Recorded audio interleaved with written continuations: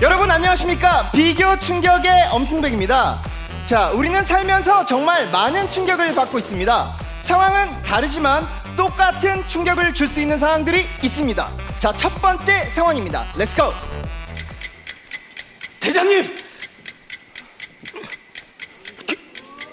폭탄이 곧 터질 것 같습니다. 빨리 나가시죠. 폭탄 제거만 25년째야. 먼저 나가 있어. 대장님.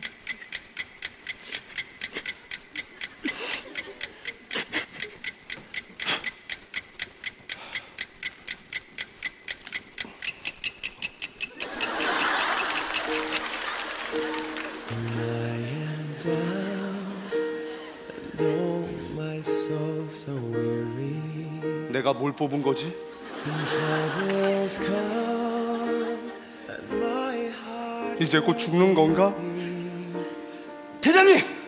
I am still 전 대장님과 함께하겠습니다. here in the sun. 누가 있어? 가는 길이 외롭지 않구나. You come and sit a while.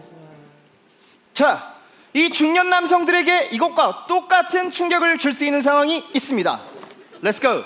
아, 이렇게 부부 동반으로 등산하니까 좋다. 아 우 성원마저 같이 왔으면 좋았을걸요. 아이 그러게요. 저 저 먼저 올라가 볼 테니까 부부들끼리 천천히 즐기면서 오세요. 에이. 아, 알겠어. 어, 근데 여기 나물들도 많다. 아니 이거 뭐야 이거? 어? 이- 이거 산삼 아냐 이거? 어? 심봤다. 여보, 이 산삼이 남자한테 그렇게 좋다는데 이거 먹고 야, 어? 어? Oh.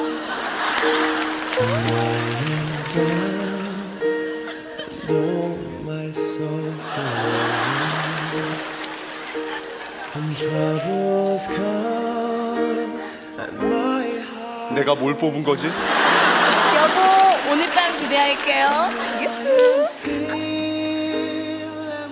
이제 곧 죽는 건가? 여보, 나도 산삼 뽑았어. 어, 예?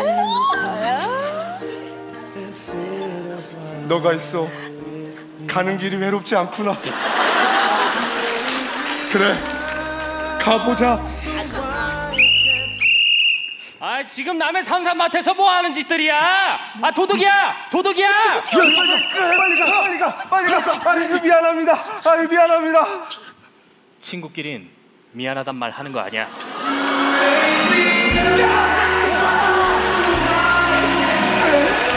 감사합니다. 감사합니다. 우리 살았어.